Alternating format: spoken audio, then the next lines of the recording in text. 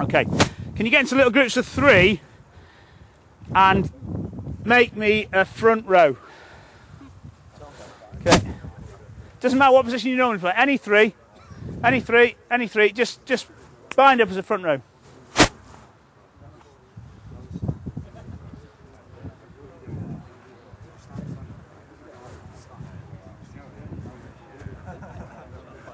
Okay, don't do anything other than just bind up. Would you be happy with that? Guys at the back, you'd be happy with that, sir?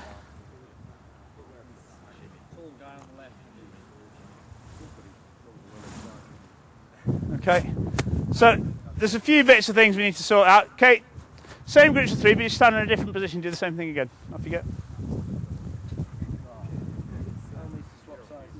Doesn't really matter. Because you're going to do it again in a minute with the other, you on the other side. So, okay. How are you going to make that bind tight?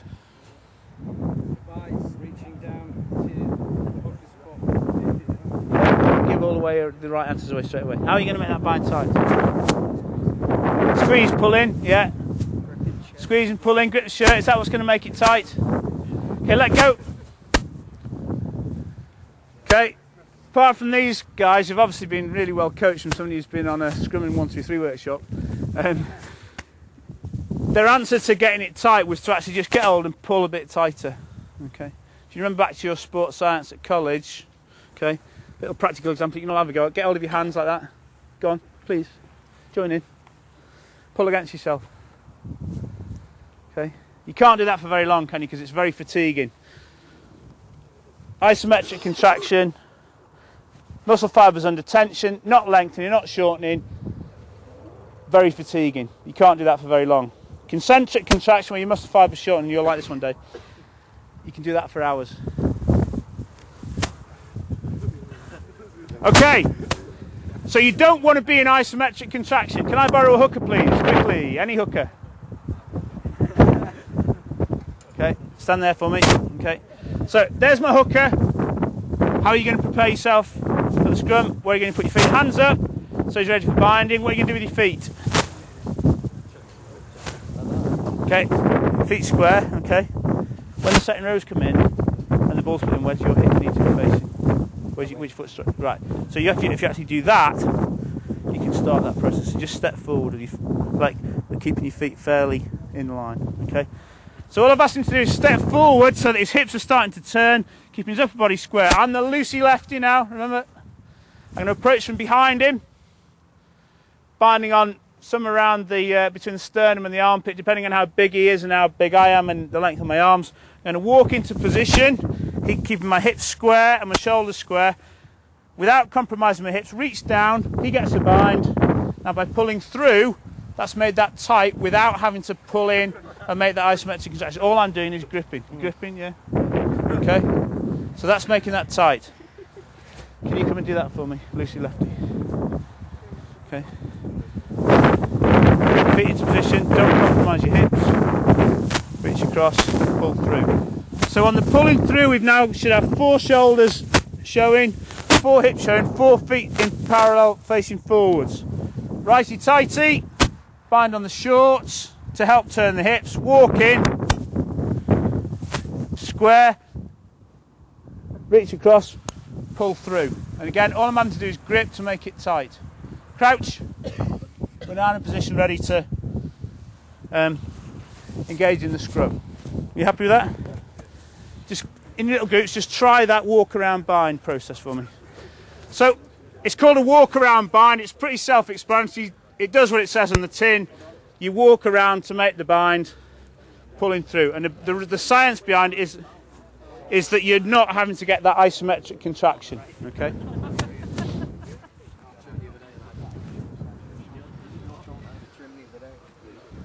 Okay. But look where your feet are. So your hips are pointing in. Okay. Good. Stand up, guys. Let's have that same hooker again for me and the same Lucy lefty.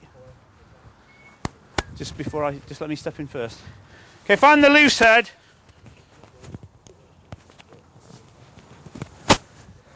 as I step in, it's important that I get my inside foot up to keep my hips square. If I go outside foot up first, what happens to my hips? They're compromised, I'm turned in. So I do that, bind up, and I've now got a long way to go to get out, or I'm hidden behind him, or I'm twisted in. So it's the inside foot that's important. As I walk in, inside foot, reaching across, he gets a bind, I pull through. Just do that for me. Make sure that inside foot's right. Can you set a tight hip job? Making sure your inside foot's up. Okay, after me. Okay, again, righty tighty, stepping up, inside foot, reach across, pull through. Guys, can you just step back that way? Okay, crack. Ready for action. Okay, Oh, wait. okay.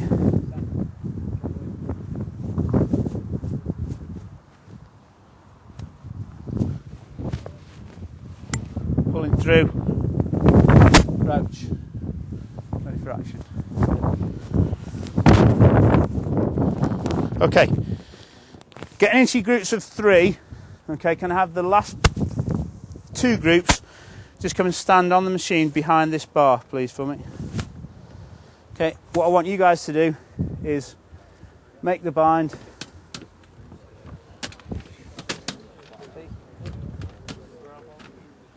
Okay, just wait for me. Okay. Guys, I'm going to give the instructions to crouch, touch, pause, and engage, okay?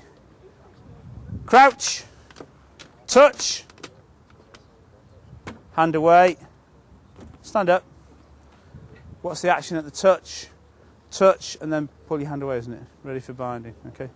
Crouch, touch, pause, and engage. And up you come. Very gentle. Very nice. Okay. Next group, we ready?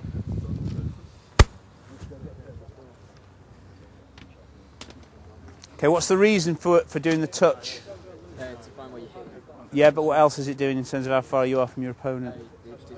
Set the distance. Okay. Remember we said walk round, not reach round.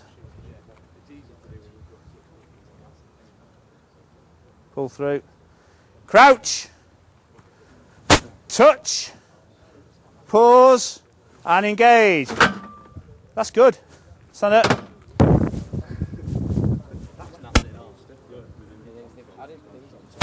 Next get ready to go. Next he wasn't, wasn't doing it. Is everybody? Okay. Get yourself set up. Crouch. Touch. Stand up. You're quite tall, aren't you? Yeah. So if you go from there and do that, are you in a good position, or do you need to be a bit further back? Okay. Just arms length apart. That's where you need to be. Crouch. Touch. Pause and engage.